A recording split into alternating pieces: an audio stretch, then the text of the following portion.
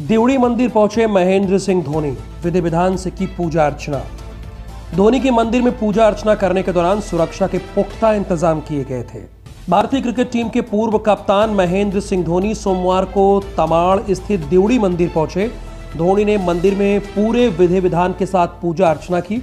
धोनी के मंदिर में पूजा अर्चना करने के दौरान सुरक्षा के पुख्ता इंतज़ाम किए गए थे। धोनी के साथ उनके दोस्त चिंटू भी थे। धोनी की सुरक्षा के लिए बुंडू एसडीपीओ अजय कुमार खुद उनके साथ मौजूद थे। सुरक्षा के लिहाज से मंदिर परिसर में सीआरपीएफ और जिला पुलिस के जवानों को भी तैनात किया गया था। धोनी के आने की खबर सुनकर उनके फैंस भी काफ़ी उत्साहित दिखे।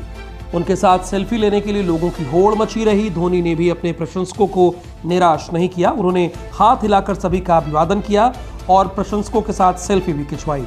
सेल्फी लेने के बाद प्रशंसक खुश नज़र आए। आपको बता दें कि महेंद्र सिंह धोनी इस मंदिर में हमेशा तब आया करते थे जब वो किसी सीरीज़ को खेलने जा रहे होते थे। यानी जब वो भारतीय टीम के कप्तान थे, तब भी यहाँ जाया करते थे।